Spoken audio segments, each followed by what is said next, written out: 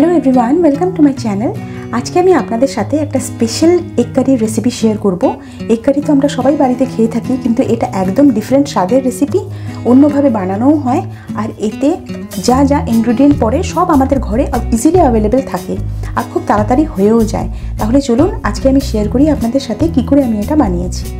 বাড়িতে আমরা সবাই ডিম কারি বানিয়ে থাকি, ডিমের ঝোল বিভিন্ন রকমভাবে বানিয়ে থাকি। কিন্তু আজকে আমি আপনাদের সাথে যে রেসিপিটা শেয়ার করব, এটা একদম ডিফারেন্ট খেতেও অসাধারণ লাগে। তার জন্য আমি এখানে নিয়ে নিয়েছি তিনটে ডিম আর এরকম ছোট সাইজের তিনটে বাটি। আপনারা চাইলে বাটি বড়ও নিতে পারেন। বাটির মধ্যে আমি একটুখানি করে তেল দিয়ে দিয়েছি সাদা তেল। এটাকে আমি গ্রিস করে নেব। আপনারা চাইলে হাত দিয়েও করতে পারেন। আমি এখানে ব্রাশ ইউজ করছি। যাতে ডিমটা হাত থেকে স্লিপ না করে যায়।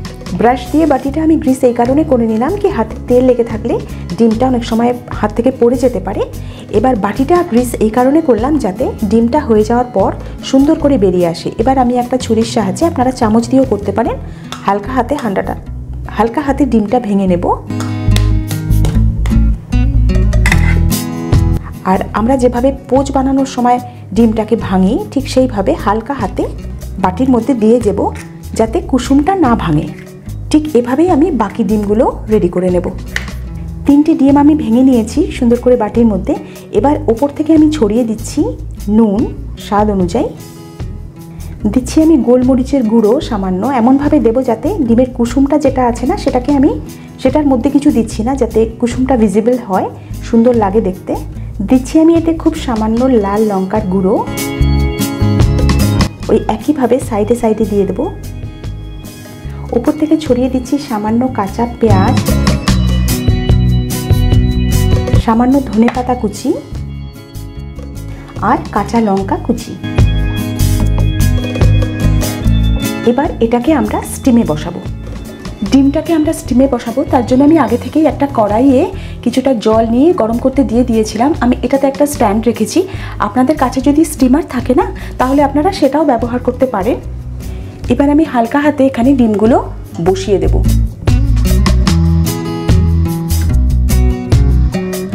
জলটা কিন্তু আমার ফুটছিল। আমি যেহেতু বাটিগুলো রাখব, হাতে ভাপ লাগবে, সেই কারণে আমি সিম করে দিয়েছিলাম। এবার আমি মিডিয়াম ফ্লেমে রেখেছি। সাথে এবার আমি একটা ঢাকনা দিয়ে এটাকে ঢেকে দেব পাঁচ থেকে সাত মিনিটের জন্য। যতক্ষণ আমাদের ডিমটা সেদ্ধ হচ্ছে, ততক্ষণ আমি একটা মশলা বানিয়ে নেব। এখানে আমি একটা স্মল সাইজের স্মলের থেকে একটুখানি বড় সাইজের একটা টমেটো নিয়ে নিয়েছি। নিয়েছি দুটো কাশ্মীরি রেড চিলি গোটা, আপনার কাছে যদি গোটা না থাকে, আপনি গুঁড়োটা ব্যবহার করতে পারেন। আর সাথে নিয়েছি তিন থেকে চার কোয়া মতন রসুন আর একটুখানি আদা, খুব সামান্য ধনে পাতা। এই সবটা একসাথে আমি একটা পেস্ট বানিয়ে নেব। এইভাবে আমি পেস্টটা বানিয়ে নিয়েছি। সাত মিনিট আমাদের হয়ে গেছে, এবার আমরা ডিমটা চেক করব। গ্যাসটাকে সিম করে দিলাম। হালকা হাতে ঢাকনাটা তুলে নেব। ডিমটা খুব সুন্দরভাবে হয়ে গেছে, আমাদের ঠিক এরকমই চাই। এবার আমি বাটিগুলো এর থেকে বের করে নেব। এখনই কিন্তু বাটিতে হাত লাগাবো না, কারণ এটা প্রচণ্ড গরম। সবার আগে এটাকে ঠান্ডা হতে দেব, তারপরে আমরা বাটিতে হাত লাগাবো। যতক্ষণ ডিমটা ঠান্ডা হবে, ততক্ষণ আমরা এর জন্য গ্রেভি তৈরি করে নেব। আমি কড়াই বসিয়ে দিচ্ছি, এতে আমি তেল দিচ্ছি। রান্নাটা আমি সর্ষের তেলে করব। আপনারা যদি সর্ষের তেল না খান, সেক্ষেত্রে অন্য যে কোনো তেল আপনারা ইউজ করেন, সেটা করতে পারেন তবে সর্ষের তেলে এটা ভীষণ ভালো লাগে খেতে। তেলটা গরম হয়ে গেছে, এর থেকে ধোঁয়া বেরোচ্ছে। এবার সবার আগে এতে দেব আমি রসুন বাটা। এখানে আমি নিয়ে নিয়েছি তিন কোয়া মতন রসুন, তার সাথে মিশিয়েছিলাম আমি একটুখানি লঙ্কার গুঁড়ো। সেটাকে আমি এভাবে কুটে নিয়েছি। এবার এটা আমি দিয়ে দেবো তেলের মধ্যে।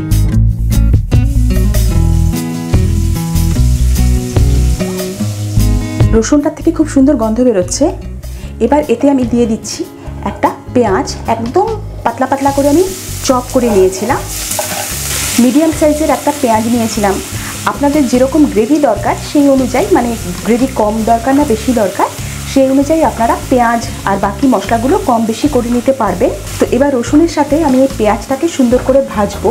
এটা কিন্তু খুব বেশি ব্রাউন করব না, যাতে যখনই একটু ব্রাউনের দিকে যাবে, হালকা হালকা লাল হতে থাকবে। বাস ততটুকুই আমাদের এটাকে ভাজতে হবে। পেঁয়াজটা সুন্দর করে ভাজা হয়ে গেছে। আমাদের বাস এই অবধি পেঁয়াজ ভাজা চাই। এবার এর মধ্যে আমি দিচ্ছি কিছু শুকনো মশলা, দিচ্ছি আমি সামান্য হলুদ গুঁড়ো, খুব সামান্য লঙ্কা গুঁড়ো, কারণ কাঁচা লঙ্কার ব্যবহার হয়েছে এতে, আর দিচ্ছি সামান্য ধনে গুঁড়ো, হাফ টিস্পুন মতন দিলাম আমি ধনে গুঁড়ো। একটু নেড়ে নেব।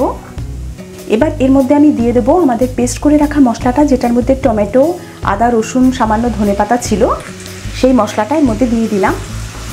ভালো করে মিশিয়ে নেব। যে ব্লেন্ডার জারে আমি ব্লেন্ড করেছিলাম, তাতে এখানে আমি সামান্য জল দিয়ে পুরো মশলাটা নিয়ে নিলাম। এখানে দিয়ে দিচ্ছি আমি সামান্য নুন।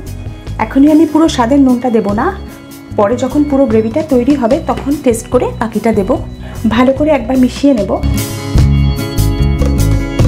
এবার আমি এটাকে ঢেকে দেব আর কমসে কম সাত মিনিট অবধি এটাকে হতে দেব। সাত মিনিটের জন্য আমি ঢেকে দিয়েছিলাম, এবার ঢাকনা সরিয়ে চেক করব। খুব সুন্দর করে হয়ে গেছে। এর থেকে তেল বেরোতে শুরু করেছে। এবার আর ঢাকনা আমি ইউজ করছি না। এবার হালকা হাতে এটাকে মাঝে মাঝে নাড়বো। আর দু মিনিট আমি এভাবে এটাকে কষিয়ে নেব। মশলাটা খুব ভালো করে কষা হয়ে গেছে। এর থেকে তেল বেরোতে শুরু করে দিয়েছে। এবার এতে আমি অ্যাড করব জল। যতটা গ্রেভি দরকার, সেই অনুযায়ী আপনারা জলটা অ্যাড করবেন। এখানে আমি এক কাপ জল দিলাম। মানে মিডিয়াম সাইজের যে কাপ হয়, সেই কাপের এক কাপ এবার আমি এখানে নুন মিষ্টিটা অ্যাডজাস্ট করব। দিচ্ছি আমি সল্ট এতে আমি চিনির ব্যবহার করছি না, কারণ পেঁয়াজ অনেকটাই দিয়েছি। পেঁয়াজের একটা আলাদা মিষ্টতা থাকে, সেটাই যথেষ্ট, কিন্তু আপনাদের যদি মিষ্টি ভালো লাগে, দু চার দানা চিনি দিতে পারেন এতে। ঝোলটা আমাদের ফুটে উঠেছে, এবার এর মধ্যে আমরা ডিমগুলো দিয়ে দেবো। যে ডিমগুলো সেদ্ধ করেছিলাম স্টিম করেছিলাম, বাটির চারপাশ থেকে এভাবে একটা ছুরির সাহায্যে আমি এরকম করে ছাড়িয়ে নিয়েছি এটাকে। খুব সুন্দরভাবে এটা বেরিয়ে এসছে। দেখতে ভীষণ সুন্দর লাগছে। এবার আমরা এক এক করে এই ডিমগুলো গ্রেভির মধ্যে দিয়ে দেবো। এটাকে কিছুক্ষণ হতে দেব, যাতে ডিমের ভেতরে একদম মশলাটা ঢুকে যায়। অসম্ভব সুন্দর লাগছে দেখতে। আর সামান্য গরম মশলা। এভাবেই তৈরি হয়ে গেল আমাদের স্পেশাল ডিমের কারি। অসম্ভব ভালো লাগে খেতে। একঘেয়ে ডিমের ঝোল খেয়ে খেয়ে যদি আপনারা ক্লান্ত থাকেন না, তাহলে অবশ্যই এটাকে ট্রাই করবেন। ভীষণ ভালো খেতে লাগে, একদম আলাদা স্বাদের রেসিপি রেসিপিটা যদি আপনাদের ভালো লেগে থাকে, তাহলে লাইক করবেন শেয়ার করবেন, আমার চ্যানেলে যদি নতুন থাকে, তাহলে চ্যানেলটিকে অবশ্যই সাবস্ক্রাইব করবেন। তাহলে দেখা হবে আবার এরকম নতুন কোনো রেসিপির সাথে। ততদিনের জন্য বাই